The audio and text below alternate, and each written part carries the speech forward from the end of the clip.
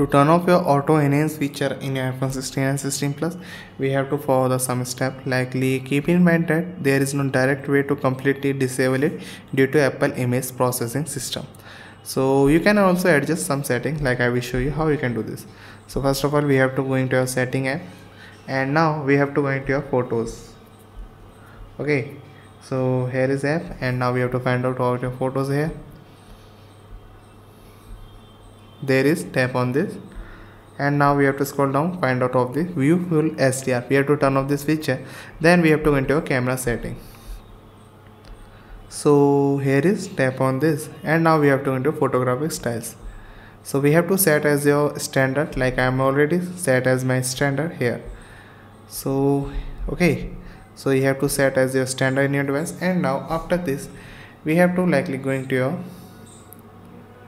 here photographic style and after consider alternative app. If you want to more control over your photos consider using the third party camera app like Halide or camera plus. Okay then after we have to go into likely your record video here and now we have to scroll down to find out over here HDR video. We have to turn off this feature also in your device. So this will your camera will be not auto enhance of your photos video in your device.